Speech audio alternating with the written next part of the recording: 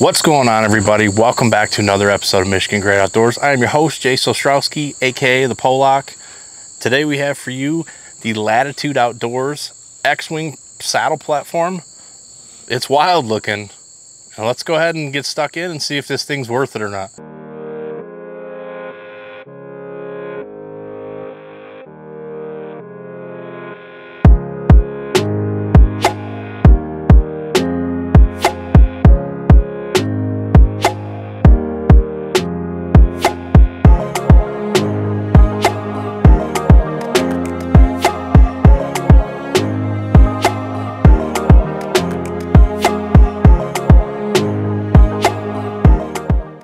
Right, so here it is, the X-Wing saddle platform by Latitude Outdoors.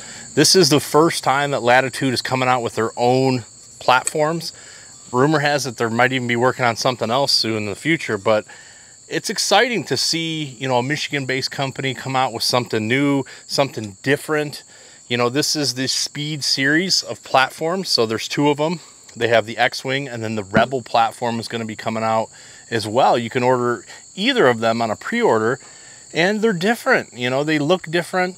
The Rebel is kind of more, you know, similar to what we're used to seeing on the market, but the X-Wing, it's crazy looking. You know, a lot of guys are reminded of Star Wars. For some reason, when I look at this platform, I see Batman. I see like the Bat plane, even though it doesn't really look like that. But in my head, that's what it, you know, it leads me to. So it's interesting. It's different.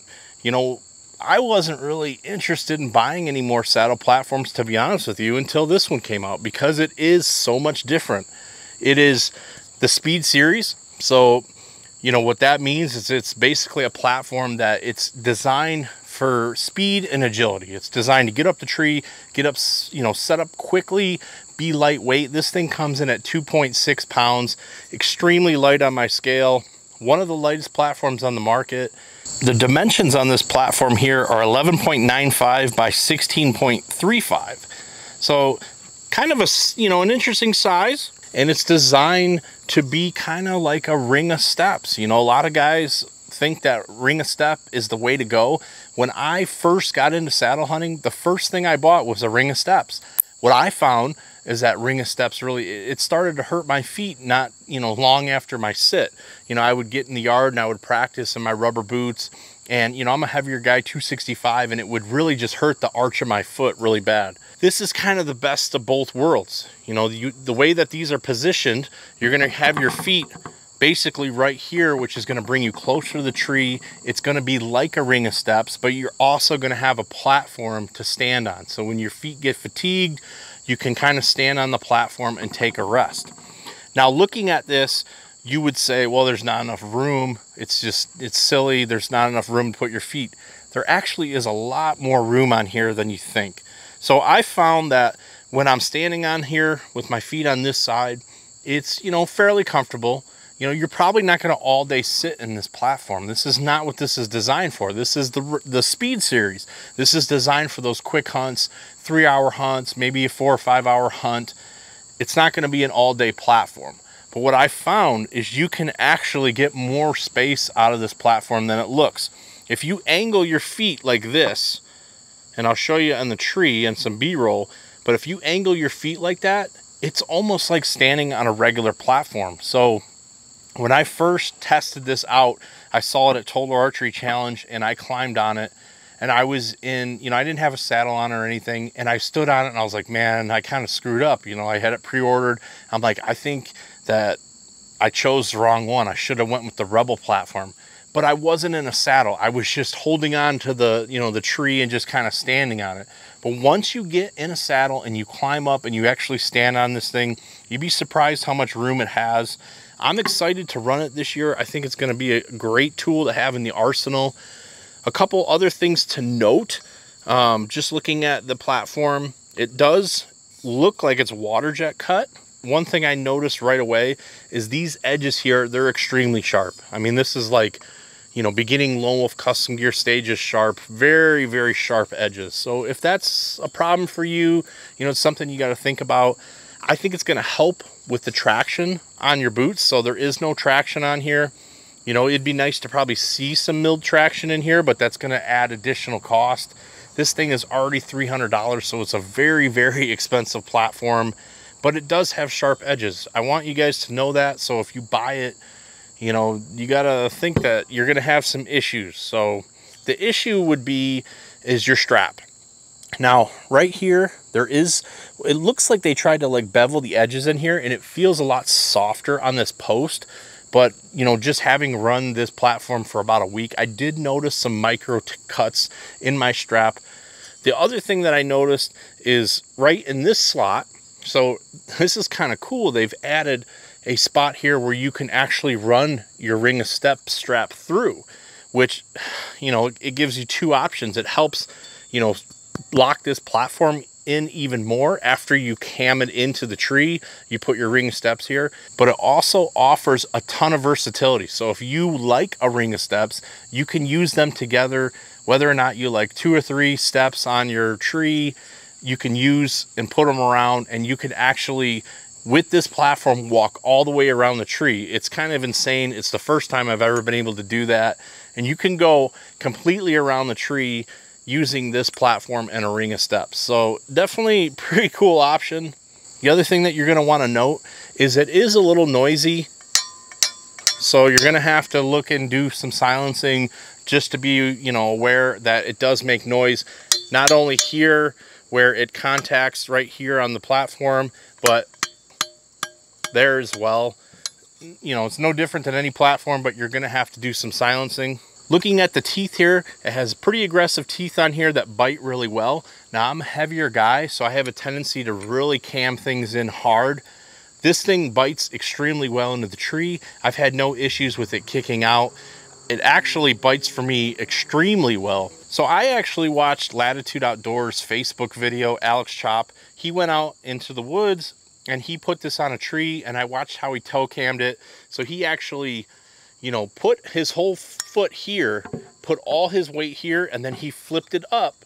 And then he nice and, you know, smoothly pushes the platform down to toe hook it into the tree. You want to make sure that you get enough weight right here so you can drive this post down and get that good toe hook. I definitely would suggest, just like anything else, that you don't jump on this or really severely, you know, yank it down. Just do it nice and smooth and steady.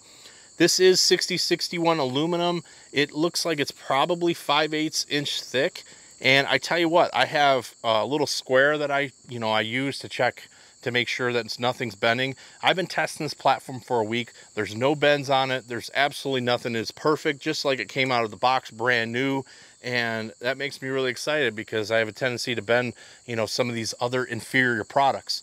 So I'm pretty excited about this one. I think that they really knocked it out of the park and I'm really digging this thing, man. You know, it has your, your adjustment here. So you can just screw this in and out to get your platform pitch, just like all the other platforms. It has a very, very aggressive, you know, antler slash batwing bracket, whatever you want to call it, tree bracket. Kind of reminds me of a Lone Wolf Custom Gear in the design. It looks like they did a really good job. It's got six points, so you could probably angle this on trees if you had to. But man, it's a nice, it's a really nice product. So enough talking, let's go get to the tree. All right, so I just kind of put my tether up here where I thought it should go. And I'm gonna go ahead and put this around the tree. So what I'm gonna do is I'm gonna try to get this as level as possible. And then I kind of like set it. Obviously, if I was on a climbing stick, you know, I'd have my lineman rope around, you know the drill. But we're gonna adjust this. I like to have a little bit of a downward pitch, not much. So I'm gonna bring it back, get it as tight as possible. That looks pretty good. I'm gonna go ahead, get on, adjust this tether here.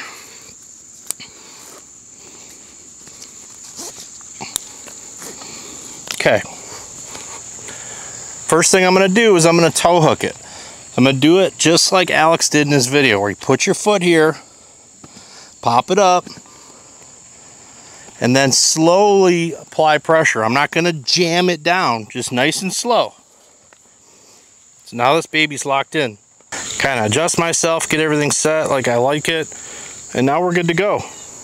Now I'm in a position right now where if I was hunting, this is how I probably stand. If I need to let my feet have a break, right here, I hope I, you can see this good on the video, but right here, with my feet angled this way, I have a ton of room. And I have, I feel like I have great support under both feet where I can kind of let my feet take a rest. If you want to work around the tree, this tree pretty much sucks because the way it's lean, so we'll show you guys on some other trees. But I can have my weight out here. You know, I'm rocking. This thing's barely moving. And I think the way, the reasoning is because this is a red oak, but I toe cam it. The way I toe cam it is you put all that weight here and you're driving that post down, it really locks in. So I can get out here and it's, you know, it moves a little bit, but every platform's going to move a little bit. Same thing on this side. If I need to take a shot back here, no issues.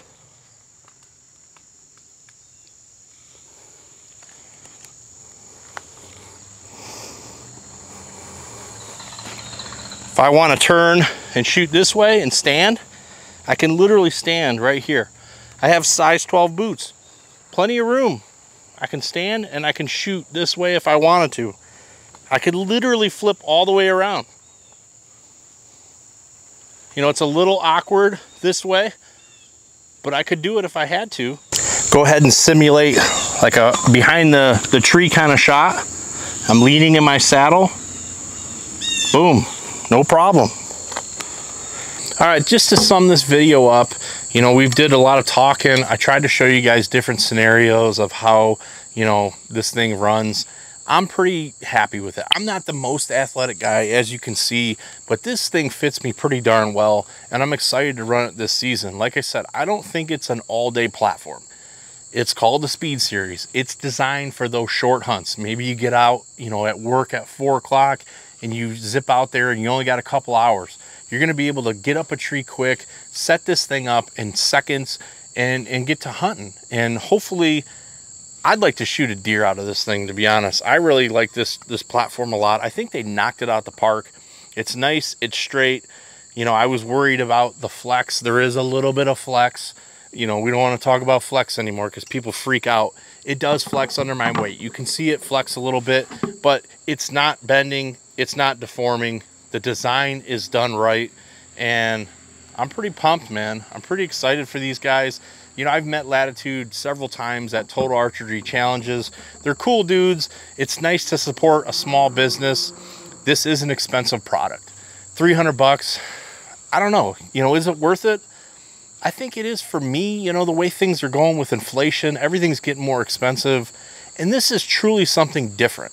It's not like every other platform on the market I feel like they kind of thought outside of the box. Yes, there's some similarities here in the post, but it seems to me like they just they really did something cool and different.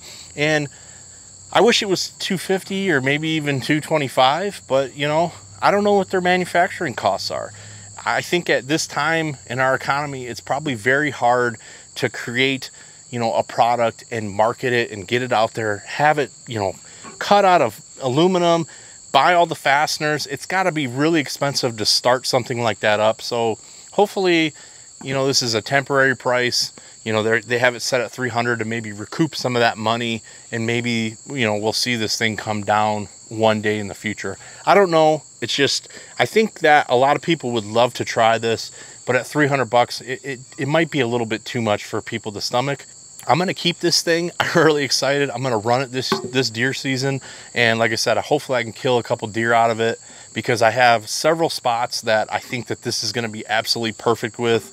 You know, I got some hunts where I don't have to go super deep, kind of closer to the roads, and they're perfect saddle setups. I think it'd be perfect for that. So hopefully this video is helpful for you. If you like videos like this, please consider subscribing down below. Give me a comment down below. Give me some feedback. What are your thoughts on the X-Wing? And uh, you know what? It's getting close, guys. Deer season's going to be about a month away after this video comes out, and I'm freaking pumped. It's time to get out there and kill some freaking deer. Let's get it.